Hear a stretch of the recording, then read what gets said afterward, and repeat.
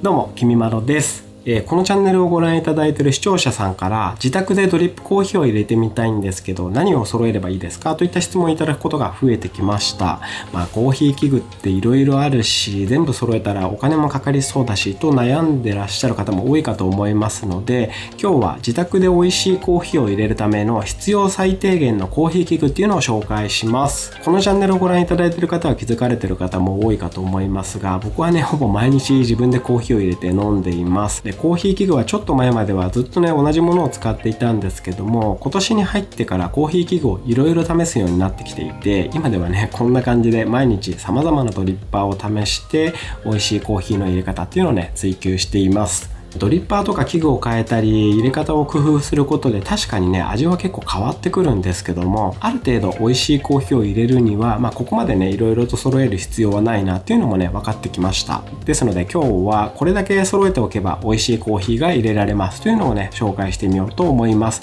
まあ動画の中でわからない用語なんかもね出てくるかもしれないんですけどもそういうのがねありましたら遠慮なくコメントで質問ください。ではコーヒーを入れるのに必要なものですが結論から言ってしまうと必要なものものはこれだけです。まず豆をひくコーヒーミルですね。こちらはダイソーで550円で購入できます。そしてこちらお湯を細くゆっくり注ぐためのこのように口の細いドリップポット。これはねニトリで1518円で購入できます。これ色はブラックですけどもシルバーだと1300円ぐらいで購入できます。そしてフィルターをセットして豆を入れてお湯を受けるこちらのドリッパー。これはこういった計量スプーン付きでこちらもダイソーで110円で購入できちゃいます。そして重さを測るスケールですね。タイマー付きのものがあるといいんですけどもタイマー付きだとちょっと高いのでこちらは1000円ぐらいで買えるノーブランドのものなんですけども似たようなものが Amazon とかだとタニタのスケールでも1100円とかで買えます。あとタイマーはスマホのタイマーで全然 OK なのでタイマー付きのスケールまたはスケールとタイマー。こちらを用意すると美味しいコーヒーが入れやすくなります。あとはこちらですね。豆を保管するためのキャニスター。こちらもダイソーで100円で購入できます。はいこれだけです。これで合計で税込338み3388円となります。でここにこういった、まあ、消耗品のコーヒーフィルターとあとは豆ですけども豆は例えばリーズナブルなマイルドカルディなんかを使えば、まあ、これを1杯分に換算するとたったの40円程度なんですよね。なので3388円でドリップ器具を揃えればあとは毎日たった40円で美味しいコーヒーが飲めちゃいます。はいでは早速こちらのねドリップグッズを紹介しながら美味しいコーヒーを入れていきましょう。最初にコーヒーを入れるまでの工程をさらっと流してやっていきますので慣れるまではこの工程をご覧いただきながら一緒に入れていただくと美味しく入れられるんじゃないかなと思います。コーヒー器具については後から詳しく説明しますがまずはドリップの流れをご覧ください。では行ってみます。まず豆を 14g 測ります。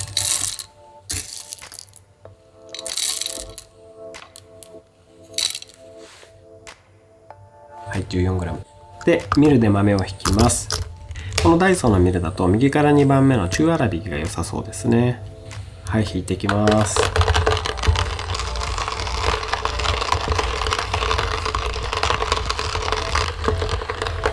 はい引き終わりました。で沸騰したお湯をドリップポットに移して1分くらい待って90度まで温度を下げます。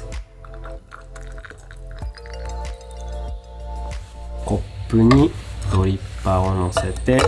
で縁を折ったフィルターをセットします。でこのペーパーフィルターにお湯をかけてフィルターの匂いを取ります。これは紙の匂いが気になる方はやってみてください。でカップのお湯を捨てます。でフィルターに先ほど引いたコーヒー豆を入れます。ドリッパーの側面を叩いて表面を鳴らします。さあここからドリップしていきます。一旦ここでチャプターを切っておきます。ここから再生していただければタイマーの代わりになりますので一緒のタイミングでお湯を落としてみてください。ではタイマーをスタートしてお湯をゆっくり落としていきます。まずは 35g 落とします。真ん中から外側に円を描くようにまんべんなくお湯を行き渡らせます。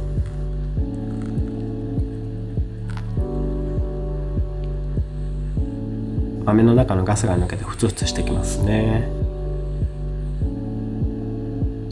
でこの状態で30秒まで蒸らします。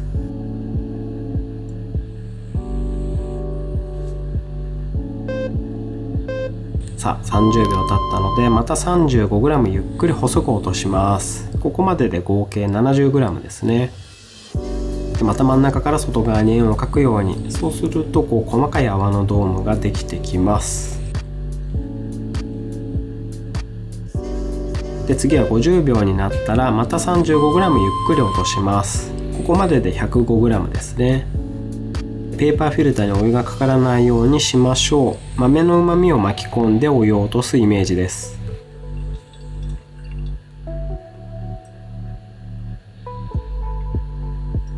で1分10秒になったら今度は 55g 落とします。これを落とすと合計 160g になってるはずです。でこの時も真ん中から外側に円を描くようにしつつペーパーフィルターにはお湯がかからないようにしていきましょう。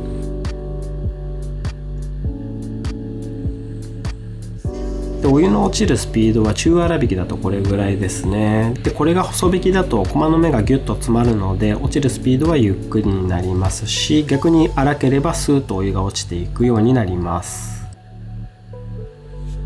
はい1分45秒になったら最後に 50g のお湯を落とします。これで合計 210g のお湯を落とすことになります。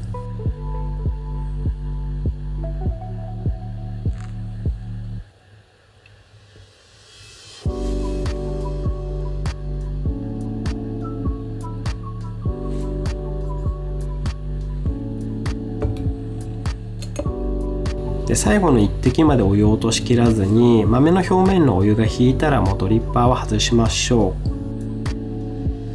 う。苦味とかえぐみまで落とさないようにもうこの辺ですね。この辺でドリッパーを外します。はいドリップできました。でこれ上の方と下の方の濃さが違うのでこうスプーンで軽く混ぜて味を整えます。はいこんな感じでドリップできました。ちょっといただいてみたいと思います。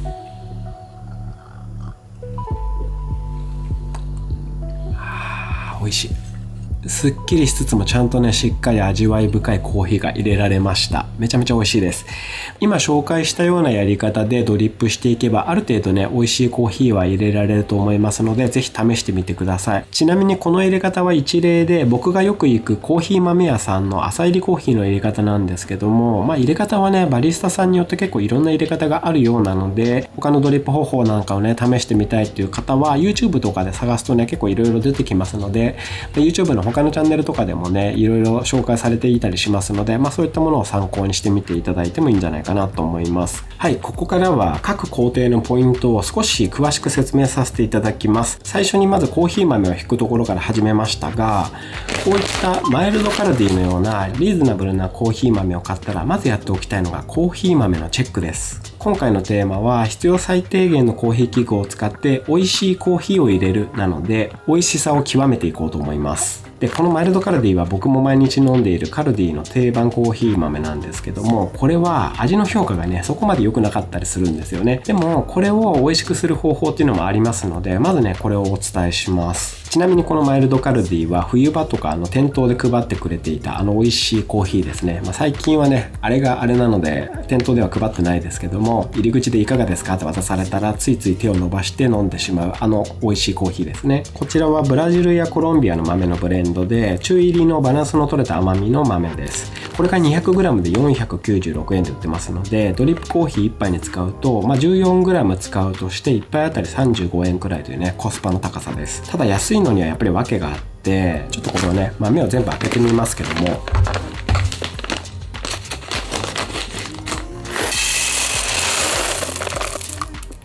こんな感じでちょっと開けてみましたがちょっとよく見てみると例えばこういうのがいい豆というか綺麗な豆だったとするとこれね形も綺麗ですし、まあ、いわゆるねよく見るコーヒー豆の形をしてると思うんですけどこういうのがねいい豆だったとするとこんな感じで割れてしまっているような豆だったりとか。あとはねちょっとこう色が極端に薄い豆とかこういったものをね取り除いていきます。ある程度値段のする高品質なコーヒー豆っていうのは焙煎前にこういった悪い豆を取り除く作業っていうのをね多分丁寧に済ませてくれているんですけどもこうねカルディとかのようにリーズナブルな豆はね多分こういう工程をやっていないんですよね。まあ実際この工程はこう自分でやると手間ですしこの工程がね入ることによって値段が上がってしまうっていうのはもう分からなくもないんですけども、まあ、一手間ではありますし取り除いた分はね、まあ、減ってしまうのでちょっともったいない気持ちもわかるんですけどもこの悪い豆を取り除く作業をするだけでこういったリーズナブルな豆も美味しくいただけるようになるので、まあね、時間がある時にやってみるのもいいんじゃないかなと思います。割とこの作業やってみると楽しいんですよね。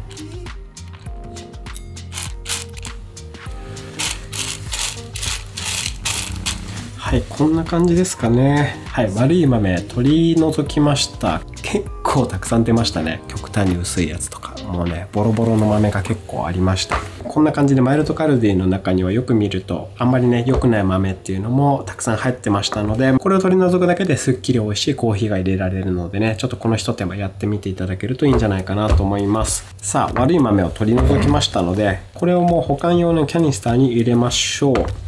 こちらも先ほど言ったこのダイソーで購入した110円のキャニスター。こちらですね。こちらに保存しておきます。コーヒー豆の保存にはこのようにコルクだったりパッキンがついたような密閉できるものがいいです。でコーヒー豆の劣化を防ぐために大事な4つの要素っていうのがありまして1つは温度。でもう1つは酸素。でもう一つは湿度あと光。この4つですねっていうのがあるんですけども密閉しておかないと湿度が上がってしまって豆が劣化してしまうんですよね。しけってしまうというか。なのでこのように密閉できる容器に入れて直射日光が当たらないところに置いて保管しておくと豆の劣化っていうのは防げるようになります、はい、ちょっとね全部入んないですけど1本でだいたいこれぐらい入ります。はいそれで豆の準備ができましたのでこれを今度は引いていきます。でコーヒーミルはこちらの手動のミルですけどもダイソーで550円で購入しました。税込み550円ってことですね、まあ、手動ではありますがコーヒーミルが550円で買えちゃうんですよね。550円という安さですけどもこのように豆の引き目も全5段階で変えることができてこの黒いダイヤルを回すと引き目を変えることができると。ドリップコーヒーの引き目としてはこの右から2番目の中粗挽きのところこの辺りにするとちょうどいい引き目になりました。マイルドカルディなんかはねこの辺がおすすめです。でここに豆を 14g 入れます。スケーラーは使い慣れてるこちらハリオのスケーラー。こちら使わせていただきます。ここに 14g 入れます。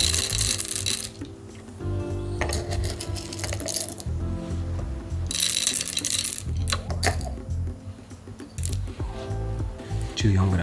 OK はい 14g 入れましたのでこちらを引いていきます。き目の粗さは右から2番目の中粗挽きで引いていきます。でこのハンドルをぐるぐる回して引いていくと。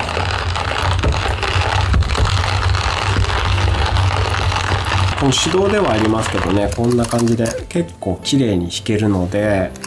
これがね550円っていうのはかなりコスパがいいですよね。ちなみに手動ではうちにはこんな感じのニトリのコーヒーミルもあるんですけどこれはねアンティークで普通にインテリアとして置いといても可愛いんですけどこれはね1000円ぐらいだったかな。で購入できるんですけどこういうのでもいいかもしれないですね。こっちはこうハンドルがこれに比べるとね少し長いのでハンドルが長い方が少ない力で引くことができるのでやりやすさで言ったらちょっとこっちの方がやりやすいかもしれないですね。まあ、手動なので結構時間はかかります。ま、なので、もしお金をかけるのであれば、ミルをね、ここにもありますけども、こういう、例えば電動のものにするとか、これはね、オーシャンリッチの電動ミルですけど、これね、まあ6000円しますけども、コンパクトだし結構安定した引き目にできますので、電動のミルでコスパを考えたらね、こういうのもありなんじゃないかなと思います。まあ、電動だったらかなり早く引けますからね。まあ、ただ今日は、えー、初期投資を安く済ませるというテーマでやってますので、こちらのダイソーの550円の手動のコーヒーミル、こちらで引いてます。そろそろですかね。はい。ガリガリという音もなくなって抵抗もなくなったのでこれで引き終わりました。見てみましょう。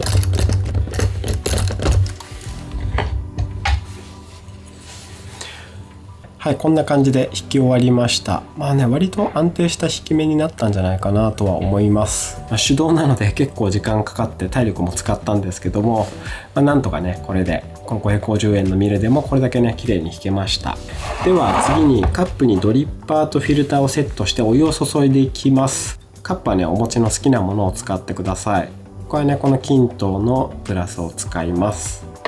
で本当はこういうコーヒーサーバーこういうものにドリップしてからカップに注ぐ方がいいんですけども、まあ、カップに直接でも劇的にね味が変わるわけでもないなって気もするので、まあ、カップに直接落としてもいいと思います。僕もね直接ドリップすることが多いです。ちなみにこのコーヒーサーバーは均等のものを使っていますがこれがね1300円ぐらいですね。まあこれもねそこまで高くないですね。でこれに似たものがカルディで700円ぐらいで買えたりするので、まあ、コーヒーサーバーにちゃんと落としたいって方はチェックしてみてください。ではこのカップの上にこのドリッパーを乗せます。このドリッパーはダイソーで購入したものでこれもね110円で買えちゃいます。税込み110円で買えます。でこれにはこういった計量スプーンもついてます。これで110円ですね。でドリッパーはこのように台形でで穴はこう4つついています。でこれはですねもう完全にこの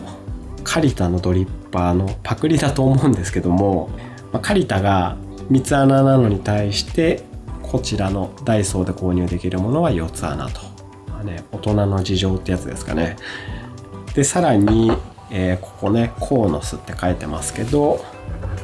まあ、これもですねこの有名な河野の名門っていうこれドリッパーですけどこれを思い出させますよね。あえてそうしているのかちょっとわからないですけども、ま、もしかしたらねリスペクトの表れかもしれないんですけども、まあ、こういったカリタと河野のドリッパーの意思を引き継いだようなダイソーの110円のドリッパー。これをね今日は使います。はいまずカップの上にこのようにドリッパーを置きましてここにフィルターをのせます。でフィルターはこういう白いものとあとね薄茶色のものなんかもありますけどこの白いのは漂白してあって薄茶色のやつはね無漂白です。まあ味に違いが出るということなんですが僕もプロの下ではないので正直ね極端な味の違いっていうのは分かんないんですけどただねまあ白い方が飲みやすいかなという気は多少はします。これはね気になる方は両方試してみて自分のね口に合うフィルターを選べばいいんじゃないかなと思います。でここにフィルターをセットするんですがここにこのように継ぎ目がありますのでこの継ぎ目をこういうふうに折ります。でこう折ったらそこの部分はこの反対側に向かってこう折ります。それでこの底の部分をちょっとこう折り返してあげます。でこうすると結構綺麗な台形になりますのでこれをここにセットします。でちなみにこのフィルターはカリダのものですけどもこちらは40枚入りで140円です。なのでね、まあ、これもそんな高くはないですね。でこのようにカップの上にドリッパーその上にフィルターこれをセットしたらここに 50g ぐらいのお湯をかけてこのね髪の臭みを取るってことをします。これをリンスっていうんですけども、まあ、髪の匂いを取ってあとはカップを温める意味もあるのでこのねリンスをします。今これ沸騰したてのお湯ですけどもこれをこういったドリップポットこれに沸騰したてのお湯をこう移し替えます。でこうすることで1分ぐらいするとお湯の温度が90度ぐらいまで下がるんですけども、まあ、そうするとコーヒーのうまみを引き立てるのにちょうどいい温度とか言われてますのでこれをね90度に下げます。90度に下げてる間にこの先ほど言ったフィルターをリンスしていきます。ちなみにさっき言った通りこちらのドリップポットはニトリのものを使ってます。このブラックは1518円。シルバーだと1314円です。これもねなぜかブラックの方が高いんですよね。これコーヒー器具に限らず言えることですけどなんかブラックってちょっと高くなる傾向ありますよね。はいでもねブラックがかっこよかったので僕はこちらにしました。はいこちらでねリンスしていきます。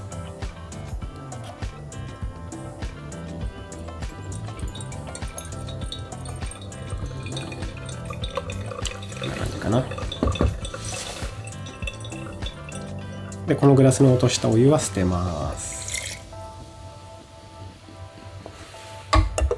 はいでここに先ほど引いたこの豆の粉。これをね入れていきます。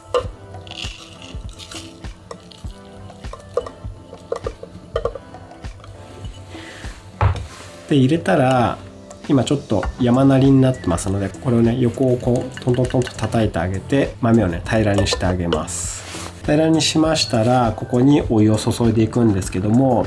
このドリッパーは軽くてこのように注ぎ口が非常に細いのでゆっくり細くお湯を入れることができるので、まあ、こういうねドリップポットが使いやすいんじゃないかなと思います。でこのさっき沸かしていたこちらの僕がねよく使ってるこのバルミューダザポット。こちらもね注ぎ口がこういう風に細くなっていて、まあ、コーヒードリップのことを考えられて作られてると思うんですけども、まあ、ちょっと重いのとあとね、まあ、バルミューダで沸かしたお湯をさっきのようにこちらに移すことで、ま、お湯の温度を少し下げるっていうこともできるので僕はねドリップする時は最近はこちらのニトリのドリップポットに落としてから使うようにしています、まあ、これちゃんと温度計で90度ぐらい測ってもいいんですけど、まあ、今こう話してるうちにだいたい90度ぐらいまで落ちたと思いますので、まあ、こちらで、えー、ドリップしていきます。スケールをリセットしまして 0g から始めてこちらでタイマーで時間を計りながらドリップしていきます。まずは 35g 落とします。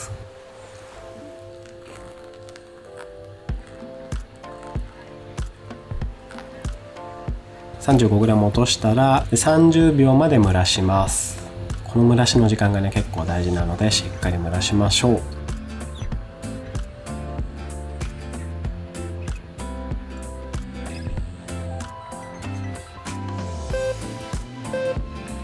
で30秒になったらまた 35g 落とします。でこの泡のドームはやっぱり豆の鮮度がいいと綺麗にねドームができるんですけどこのマイルドカルディは焙煎から7日間経ってますがこれぐらいのドームができます。で50秒になったらまた 35g 落とします。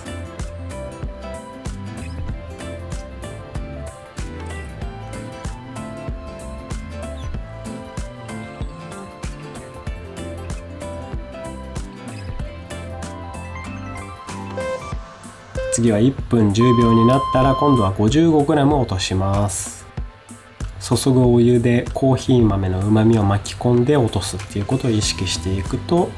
綺麗にドリップできるんじゃないかなと思います。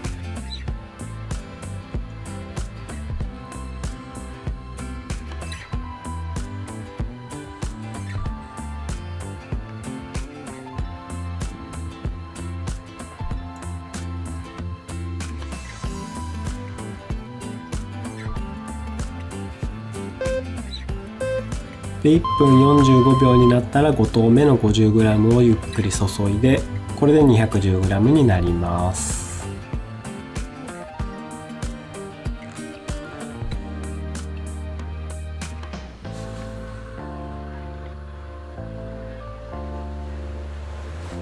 最後の1滴まで落としてしまうとえぐみとか苦みとかも落ちてしまうのでこの粉の表面が見えそうになってきたところでもドリッパーは外してしまいます。はいこの辺で外します。これでドリップできました。で上と下でちょっとね味の濃さも分かれてしまっていたりするのでこうスプーンで軽く混ぜてあげてこれで完成です。いただきます。